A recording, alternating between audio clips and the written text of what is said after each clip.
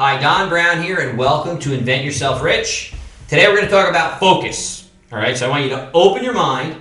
You're going to learn how to focus on proven categories and how to truly create something remarkable. So I'm going to give you a perfect example. A proven category in the kitchen gadget market is can openers. All right, we got a bunch of can openers here. And the, the concept here is, you know, there's already a category, right? People buy can openers probably every day. So how can you come up with an idea that can make you a lot of money by simply focusing on a proven category and innovate within the category? So again, I'm going to give you the example. The original can opener, let's just say it was, you know, the original one I think was just this little wing nut, or it had like a uh, little, uh, you know, like this piece. See this piece here? It poked a hole in the can, you went around the can, you popped the top off. That was the original can opener. Then someone got smart and said, well, wait a minute, let's come up with a way to slice it so we can spin this little key and go around the can. All right, so that was sort of the birth of the modern can opener as we knew it today. Then someone down the road said, well, wait a minute, maybe I can um, make it better. So they had more leverage, you know, same concept, poked a hole in the can, you walked it around, had some blue grips. Now, the difference between this can opener and this one is not a whole lot. A little more leverage, you know, a blue grip, a better can opener, more expensive than the basic one. But in my opinion, not dramatically different enough. It's not remarkable that it's going to make you a lot of money. And when you think about inventing anything, it's going to take you the same amount of time, whether you create something as simple as this and add the little can opener on the top, or you make a heavier duty one, it's basically the same concept. It slices the edge. what happened, some smart person figured out a way to make something truly innovative.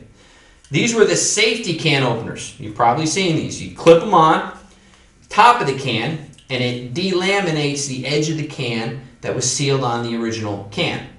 So the top comes off without puncturing it, and you don't get the bacteria, you don't have any sharp edges, people don't get cut. Hence the name here, safety can opener. So this product is truly innovative within a proven category. End result, millions of these were sold. All right, I think three different companies were selling them on TV. Fortunes were made. Simple innovation. Now you had to think about it. But the magic here is you focused in a proven category. Because every week, you know, I, have inventors that come to me and they have, oh, Don, I've got a dozen ideas. But the concept here is don't try to spend all your time on all these different ideas. Focus on one idea the one that has the biggest category that's proven because the customer's already familiar with it. Then innovate, show them something that truly is different. Take your time, design it well, and guess what? Millions of dollars, all right? This could have been your idea. Simple one. Now, again, this is another version of it.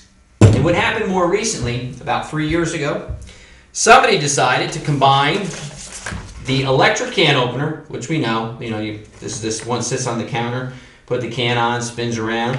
The one that attracts cats, they go nuts when you have a cat and you hit this can opener. It's like a cat call.